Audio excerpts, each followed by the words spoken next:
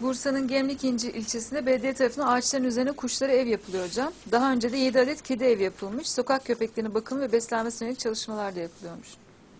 E, görelim. Yaklaştır.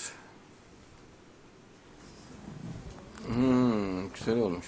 Yalnız ağaçlara zarar vermesinler.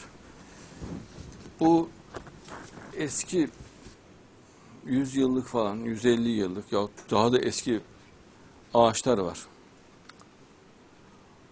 Onlara adamlar ilan yapıştırıyorlar. İşte kiralık ev, ev, kimi bilmem ne yapıyor, kimi bilmem ne yapıyor, kim merdiven dayamış. Bir kere e, asırlık ağaçların hepsi devlet tarafından koruma altına alınması lazım.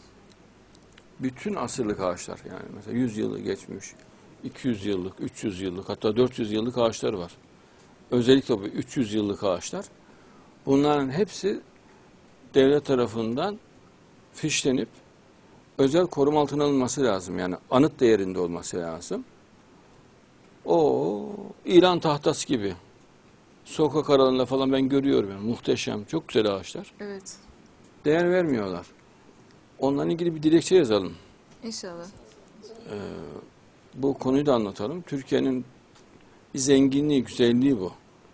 Çok sık rastlanmaz öyle e, yaşlı ağaçlara. Görünüşü son derece güzel oluyor. Asırlık mesela çınar ağaçları var. Çok çok güzeller.